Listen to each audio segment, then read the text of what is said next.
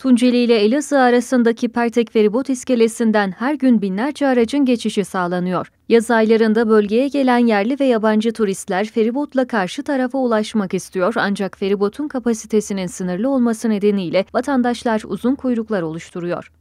Her gün bu sıkıntıyı bu halka yaşatmak zorunda mısınız ya? Her gelen bir öğüt veriyor, her seçim öncesi bir öğüt veriliyor. Şu rezilliğe bakın ya.